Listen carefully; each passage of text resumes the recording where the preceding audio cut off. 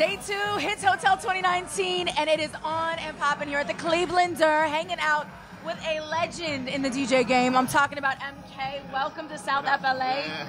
We were joking. I was saying you are clearly no stranger Yeah, to yeah, Miami Music. Week, uh, quote unquote, Winter Music Conference, as it was originally called. Yeah. Um, talk to me a little bit about your experience this year and, and what you've got going on. Well, this year I got, I got in on Wednesday, and I played. Uh, had my party yesterday at National. Okay. And then I played David Guetta's party last night also. And I played Diplo's party after that. so it's kind of hectic. And now I'm playing uh, Repopulate Mars party tonight. Very cool. Lee Foss. Diplo's playing again at that party. That left. Uh, Claude VonStroke playing, I think. Great lineup. Great lineup. Yeah, yeah, yeah. yeah. I always refer to this as like DJ reunion weekend. Yeah, yeah, it is. In Miami because it's well, ridiculous. you know why? Yeah, it's because like between like December, January, and February, most DJs take off. Because Oh, I didn't know. Well, Yeah, because yeah. you're coming kind of coming off of like off the season, summer. Right? Yeah, yeah.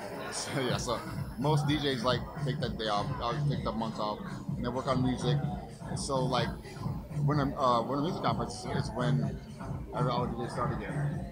We all meet up, Well, like, yeah. you know, trade music, and it's, it's the start of the whole year. Well, I I was gonna say it really does feel like it's kind of the kickoff to festival season. It's like start of baseball season. You know, it's like, it's like spring It's training. spring training. Yeah, yeah, yeah, you. yeah, Yes, that's a great analogy, though. I will be using that moving forward.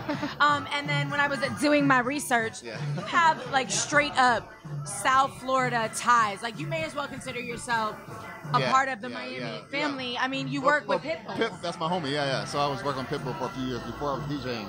Maybe like in 2009. Okay. So I worked with him for like three, three or four years, and I kind of started DJing from that point, and just kind of branched off. But it's funny because he just like texted me like two weeks ago. Okay. So we're still in touch. So So I mean, did you not do the remix that was like the foundation for Yeah, he for sampled- hotel? Like hotel room. Yeah, I did a, a remix called uh, "What's Feeling On" by Night Yep. Crawlers, and he sampled it, that? Yeah. and uh, that's how we met. Um, but that's kind of like one of those records. Like I love Pitt, and he's been around forever, and he's Yeah, family. yeah. But that was like one of those records that he Yeah, will forever be known for, like on his journey to becoming funny story is- Mr. Worldwide. Because it's a it's a remix, so on the remix I don't own the publishing. Got you. So Oh. so Pitt, when Pitt sampled it, I reached out to him, and at first he was like, "I don't want to talk to MK because he took no he took 95 percent of the publishing for that song, for Hotel Room." oh my God. I'm like, "No, I don't have publishing. I don't Yeah. own any publishing. It was someone else."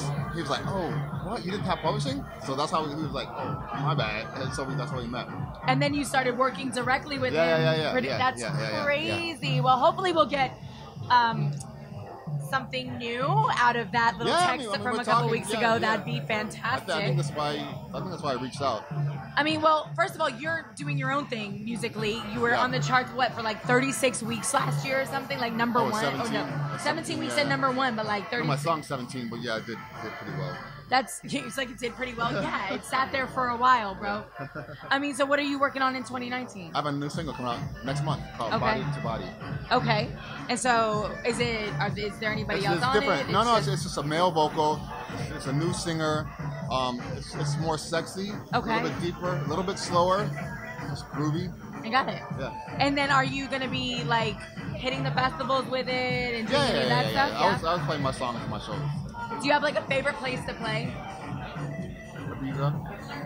I'm so tired of y'all dropping Ibiza on me. I'm so angry. I'm like, I tried to convince everybody. Well, no, the first time we ever did this, or one of the first years, Bob Sinclar came through. Yeah, yeah. And he was talking about it.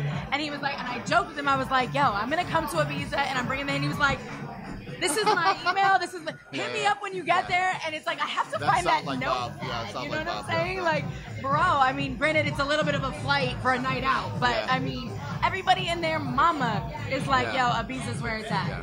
Why? It's a, it's a party island. Literally does- a party island. It's nothing else. Look at his face. He said it with such conviction. No, it's it a is. party island. It's like, no, I don't think you understand what I'm saying right now. Yeah. So, I mean, do you have a best Ibiza moment? Uh-huh. It's like, I don't think I want to say that. that. There can't. you go. Well, there you have it. That right there just made people book their flight. So you've got the new single dropping next month. Yep. You're going to be out there. You're going to be playing in Ibiza. Um, how can we follow along with your journey? Uh, well, my Insta- Instagram is just my name, Marc Kinchen. Okay. And then same as Twitter, so. Fantastic. And I have to ask, I mean, I feel like DJs have this different vibe for music. When you're playing, Yeah. who are people loving right now? Like when you drop a track, like who it is it depends. just It's, it's, not, it's not. It's not even the artist anymore. It's just the track now, which is kind of cool. And and the thing is now, it's like music, as far as dance music. Well, I don't know if it's cool, but it, it lasts about three months Uh-huh. per, per track. So you have a good Wow. track, and it lasts three months, and it's over. So it's kind of it's, it's clicky in a way of what you Okay. play, as opposed to like you know But it must force you to be creative. You've always got to be, yeah. you know, producing, making new stuff. looking. Yeah, yeah, yeah.